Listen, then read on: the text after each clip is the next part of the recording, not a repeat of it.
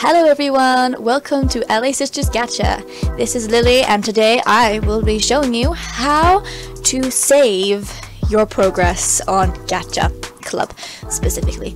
Um, I think they're all the same anyway, but yeah, today I will be showing you how to actually save your progress. It's there's nothing worse than having like your characters in place or screen for a screenshot. You just turn it off and you have, to, have to do something, so you leave it, and then you come back, and it's just all gone when you go back into the app, and you're like, no, why did it not save? And yeah, that's just that's just the worst, especially if it's like a character you just made, like you just spent hours on a character, you turn off your game, and then you come back the next day, whatever, and you find your character's gone, and you're like, what? What?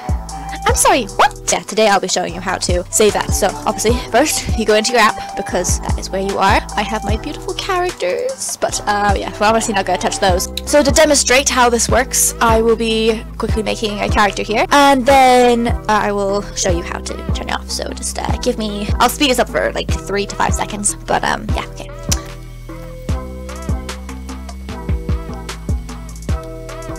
You have your character here. Actually, I'm just gonna uh, we call you um, we're gonna call you Bob because with a, with small b because why not? How you save him or whatever character, whatever progress you did. You just go into your options here, okay, and then you click exit game.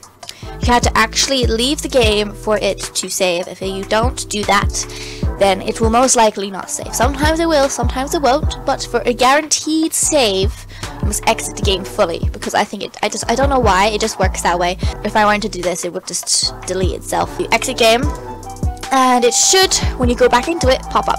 I always after I exit pop back into it anyway just in case to see if it did into work and it usually does work. See it's still there and it is still in its place right here. Hello Bob. It's working and that's how it works. This is how you save your progress and um, there's really nothing more to it, just exit the game. Um, if you're on a phone and you're like, oh wait, this is a computer one, it's not gonna work. This, I think it works on phone. I do the exact same thing on the phone and it works.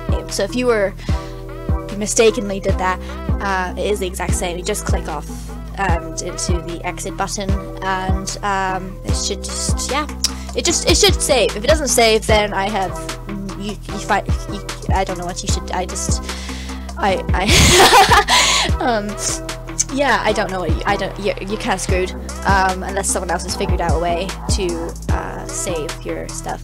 Anyway, this is Lily here, and I am to work on more videos for you guys to watch. Uh, yeah, so see you soon.